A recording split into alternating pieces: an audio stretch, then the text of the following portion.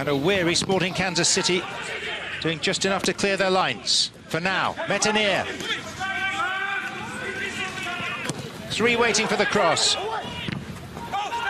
Molino! Minnesota have won it in the very last minute of stoppage time.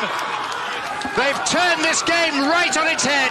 From Tim Melia, this has been all Minnesota United's opportunity to take this game, and they did that. Was it the prettiest? No, absolutely not. But it, they needed 97 minutes to steal three points away from Sporting Kansas City, and it's only fitting in a city where he won USL MVP for two years that Kevin Molino in Orlando just may have stolen three points from Sporting Kansas City.